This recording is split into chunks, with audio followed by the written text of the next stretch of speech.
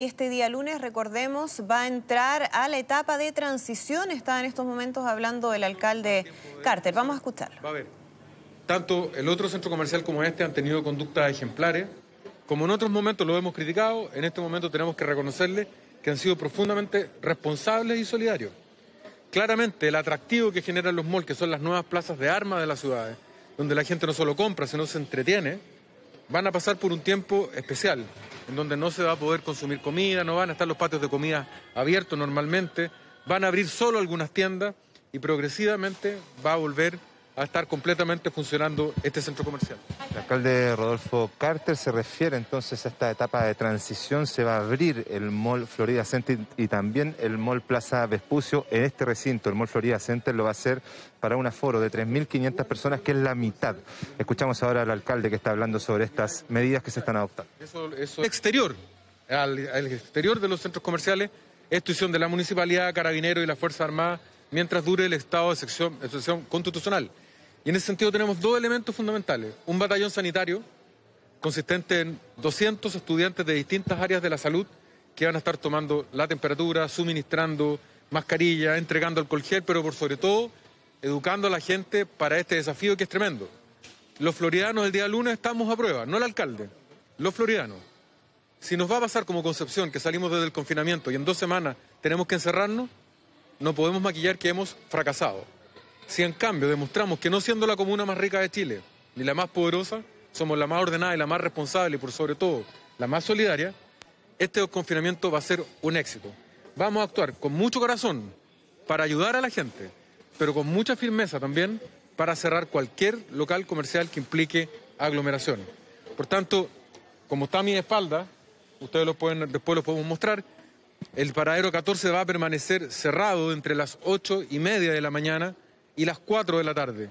Sabemos que se van a generar problemas, sabemos que mucho automovilista va a estar enojado, pero tenemos que entender que el bien superior de la salud de todos está siempre primero.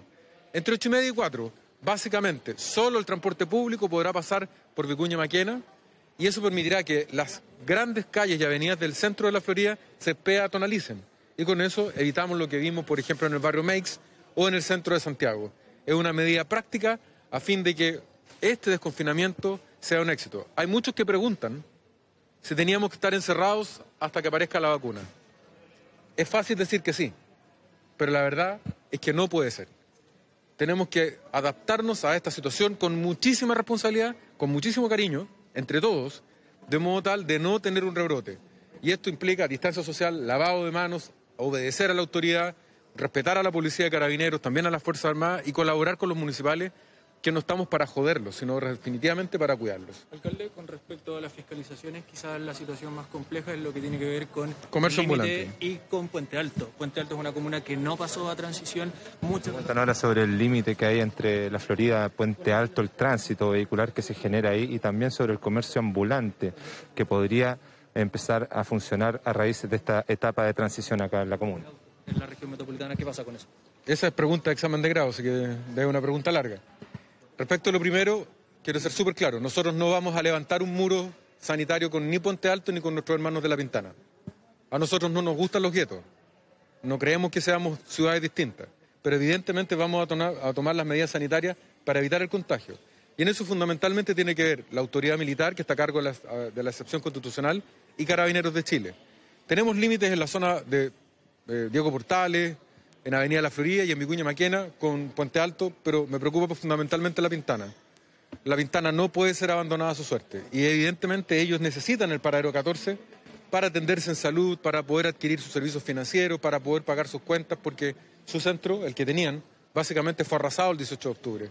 Nosotros vamos a recibirlos con los brazos abiertos, pero también les pedimos a los pintaninos les pedimos a los puentes altinos que nos colaboren como si fueran florianos, porque finalmente somos tripulantes de una misma nave que si no la cuidamos entre todos, se hunde. Respecto a los delitos, claramente hay un fracaso brutal de parte del Estado central, de la política de seguridad del Estado y de los tribunales. Lo que hemos visto en las últimas semanas no tiene que ver con las municipalidades, ni tampoco tiene que ver con los vecinos. La gente paga impuestos, cumple con su deber, trabaja honradamente, mucha de ellas está cesante, y los delincuentes han convertido verdaderas empresas del delito. quiero ser enfático en algo que he dicho en más de una ocasión vamos olvidándonos de ese mito de que esto ocurre porque en Chile hay hambre. Los delincuentes no tienen hambre. Los delincuentes son unos sinvergüenzas. Los delincuentes no es que estén sin trabajo, eligen el delito. Por tanto, los tribunales tienen que actuar con mucho más firmeza, porque a tu pregunta, lo que resulta increíble es que cuando se detienen a estos delincuentes, el prontuario son de 24 causas, 30 causas, 4 homicidios, y nadie se escandaliza. Absolutamente nadie se escandaliza. Y la respuesta es muy clara. ¿Por qué? Porque le pasa a la gente pobre, porque le pasa a la clase media. El país completo ha estado conmovido y ha discutido toda la semana respecto a la prisión preventiva de una persona que sale en la televisión. Y su familia está viviendo una tragedia tremenda, sin duda, y nuestra simpatía con su familia. Pero esa tragedia de dolor la viven los chilenos normales todos los días, y para ellos no hay ni una sola solución. Alcalde, me gustaría llevarlo. Alcalde Carter daba cuenta entonces de este plan que se ha puesto también en la comuna eh, además de las medidas sanitarias que están realizando las autoridades. Nos vamos a quedar muy atentos acá en el Mall Florida Center y ya le estamos contando novedades de lo que está pasando acá en la comuna de la Florida, Andrea. De todas maneras, Pablo, muchas gracias por la información.